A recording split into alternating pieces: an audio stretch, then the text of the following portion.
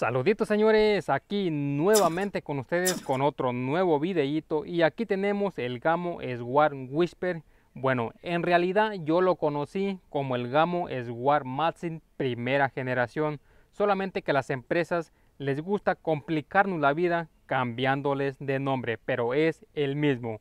Ahora mismo solamente se encuentra como el Gamo Swar Whisper. Bueno, antes que nada quiero decirles que este video no es un video patrocinado, ok, no es un video pagado. Este video lo estoy haciendo porque he recibido algunos comentarios, eh, unas preguntas de personas, eh, niños de entre 12 a 14 años que me han preguntado, señor Michoacano, yo tengo 12 años, otros me dicen 14 años, eh, ¿qué rifle usted me recomienda para decirles a mis papás que me lo compren? Un rifle que no sea eh, duro de quebrar, que no sea pesado, que sea preciso y pues que no sea caro.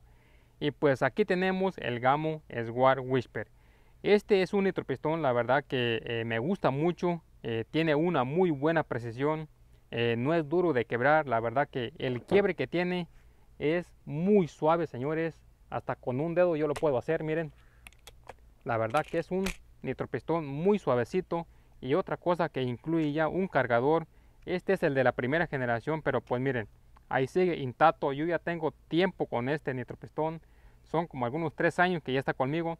Obviamente no les voy a decir que lo uso eh, mucho que lo uso bastante no porque entre tantos que yo he tenido pues no no puedo usar solamente uno. Pero sí la verdad que sí lo sigo usando y lo he usado. El sonido que tiene la verdad que está bien ya que incluye también aquí su nuevo sistema, eh, un silenciador Whisper, la verdad que trabaja muy bien. Bueno, y de tantos que yo he revisado, de tantos que yo he tenido, pues de mí sale recomendarles este Gamo Swar Whisper para hacer su primer nitropistón. La verdad que este nitropistón me gusta bastante. El precio, la verdad que no es un precio caro, la verdad que tiene un precio muy bueno, va de entre los 130 a 150 dólares según donde usted lo encuentre. Pero la verdad que me gusta bastante este nitropistón. La precisión que tiene la verdad que es muy buena y pues este es muy bueno para las palomas. En algunos lugares lo conocen como cacería de pluma. Bueno, para eso, para los conejos, eh, para las iguanas, para control de plaga, eh, para divertirse en su yarda trasera. La verdad que es un nitropistón que yo les recomiendo al 100%. En videos anteriores yo les he comentado y lo sigo confirmando que las miras que ya nos incluyen son miras muy pero muy sencillas que tarde o temprano nos tocará comprar otra parte. Pero miren, en este nitropistón la mira que ya nos incluyen la verdad que le va muy bien. Esta mira es la que ya venía con él de hace 3 años, es una mira Gamo 39x40 y la verdad que trabaja muy bien ya que este nitropistón, el retroceso que tiene la verdad que es muy leve, muy suave, que ni se siente. Es un retroceso la verdad muy muy suave que no se siente en absoluto. Y trabaja muy bien con la mira que ya venía con él. Obviamente sigue siendo una mira muy sencilla que no trae ni mil dogos. Pero pues si usted se quiere ahorrar en, en una mira telescópica, bueno, ya nos incluye una mira telescópica que trabaja muy bien con este nitropistón. Ahora mismo lo estoy utilizando con los postones de JTS, los Dead Center de 18.1 grains y tiene una muy buena agrupación. Y pues ahora voy a hacer unas agrupaciones para que vean la agrupación utilizando aquí la Scott Ken. Y aquí también les voy a dar unos tips ya que pues a mí me gusta calibrar a 30 metros y veremos a ver cuál es la diferencia de calibrar a 30 metros disparando a 20 disparando de 20 a 40 metros, teniendo calibrada la mira a 30 metros, ok. Así que pues vamos a ello. Ok, miren, yo ahí tengo un target a 30 metros, el otro lo tengo a 20 metros y otro a 40 metros. Bueno, déjenles grabo aquí para mostrarles, ok. Miren, ese está a 30 metros, allá está otro a 40 metros y este que está aquí está 20 metros, 20, 30 y 40 metros. Entonces yo tengo calibrada ya esta mira según a 30 metros. Y pues veamos a ver. Veámoslo aquí en cámara. 30 metros. Ahí están ya unos disparos, pero no le ponga atención a eso porque esos los utilicé para calibrar la mira.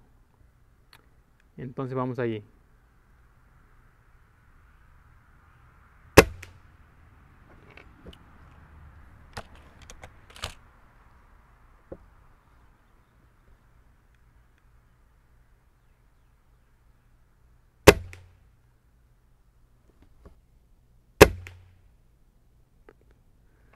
Casi en el mismo hoyo, solo que me faltó creo aquí un poquito. Bueno, vamos a darle aquí un poquito para arriba.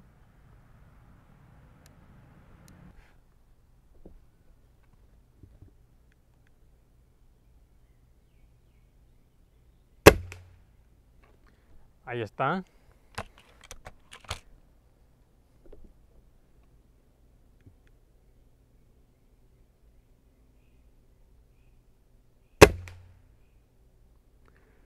muy buena la agrupación. Entonces, ahora vamos a, a tirarle aquí a 20 metros, ¿ok? Este está a 20 metros. Ok.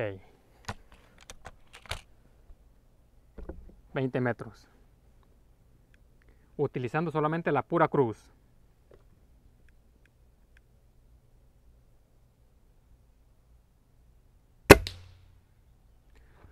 Como lo ven, sigue pegando igual como a 30 metros.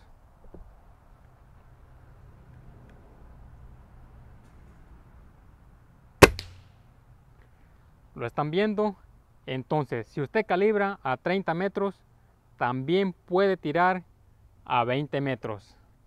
Ahora vamos con 40 metros.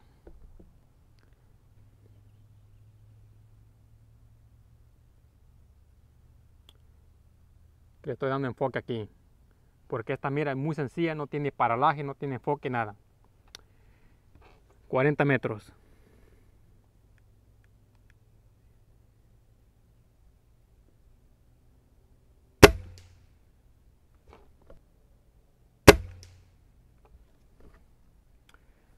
Ok.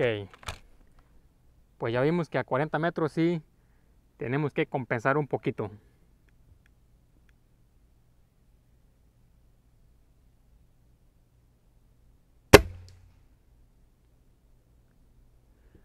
La agrupación está bien, pero sí ya eh, tenemos que compensar un poquito para poder hacer disparos a 40 metros con calibrado, calibrando a 30 metros. Entonces yo diría que mm, de 20 a 35 metros podemos hacer buenos disparos. Ya a 40 pues tenemos ahí que compensar un poquito. Aquí ya se me acabaron los postones.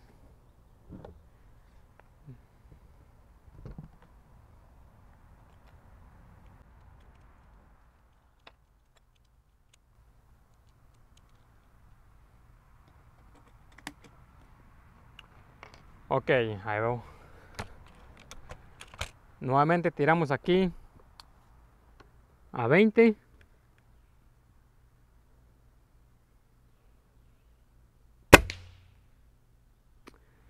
a 20 metros sigue pegando en el centro. Ok. Y 30 metros.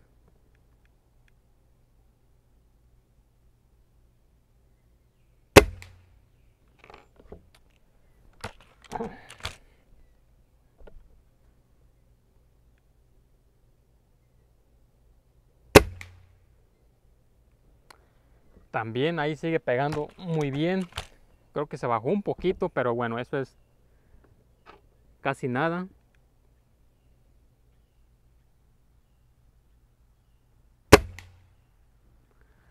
Ahí estuvo. Sigue pegando muy bien, pero sí, a 40 metros sí tenemos que compensar un poquito. Nuevamente tiramos otro.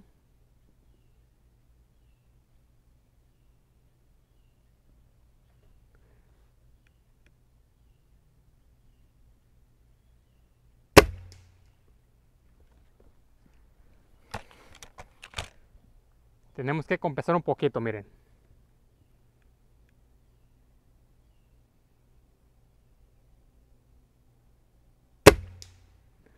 Ahí están, si están viendo. Lo malo de esta mira que no tiene mil dogs. Uno se la tiene que rifar así al tanteo.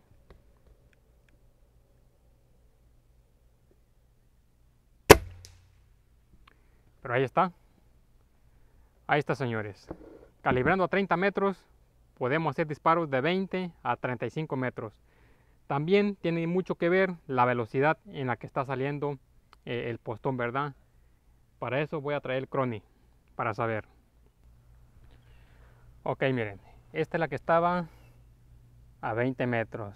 Muy preciso a 20 metros. Ahora nos vamos acá a 30 metros. Ok. Esta fue la primera agrupación que hice. Muy, muy preciso, ok. Demasiado preciso. Después le moví poquito y ya pegó en el centro. Aquí, los segundos, pues también. No cambió mucho. La verdad que está muy bien esta agrupación. Muy, muy buena. Y ahora, acá, a 40 metros. Y a 40 metros, pues miren, yo tiré aquí en el punto este, en el centro, pero pegué aquí abajo. La agrupación también está bien, ok. A 40 metros, una muy buena agrupación. Ahí está, miren. Para los conejos, palomas a 40 metros, la verdad que trabaja muy bien. Y compecé un poquito después y miren, ya pegué aquí. Ok, ahí están dos. Muy buena la agrupación. Entonces sí, a 40 metros sí tenemos ya que compensar un poquito. Ok, pues ahí ya tenemos el crony, aquí está el teléfono. 18.1 grains.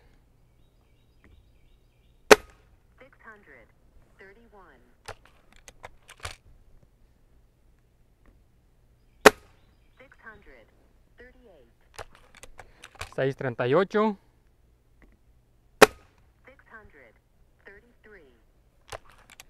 Seis treinta y tres.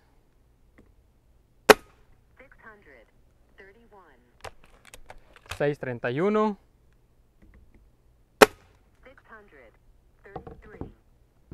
633 ok. 633 pies por segundo.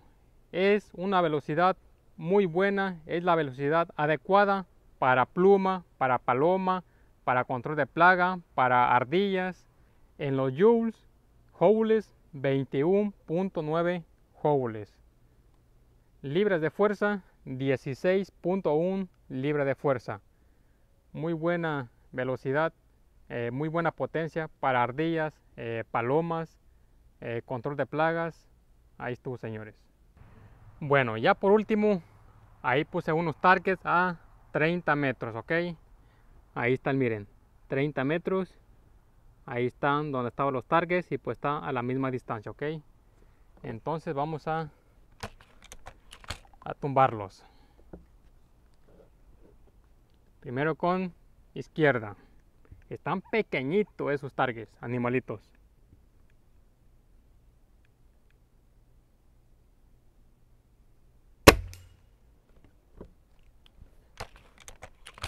Primero,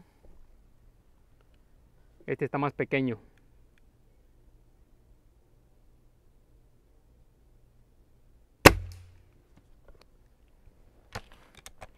Ahí estuvo. La tapita, una tapita de Gatorade.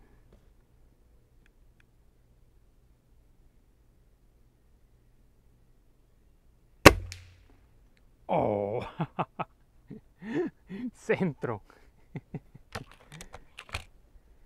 Ahora la última.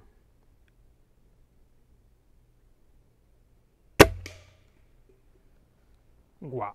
Excelente, excelente. 30 metros, señores, es una muy buena distancia. Yo creo que es la mejor distancia o sí, yo creo que la mayoría usamos esa distancia 30 metros para hacer cacería de paloma, eh, ardilla, un conejito. Muy, muy buena distancia. Muy preciso. wow.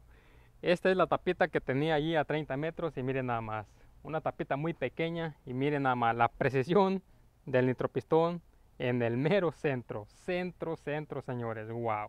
Es increíble la precisión que tiene este gamo Swar Matson o Gamo Swar Whisper. Así que con este video ya concluimos que es muy bueno, muy preciso, muy ligero, la verdad que es bastante ligero, eh, muy suave el quiebre, muy económico y pues yo lo recomiendo al 100%. En este momento pues no puedo mostrarles en una cacería porque ahora mismo aquí hay cero cacerías. La cacería, la temporada de cacería empieza de en agosto en adelante.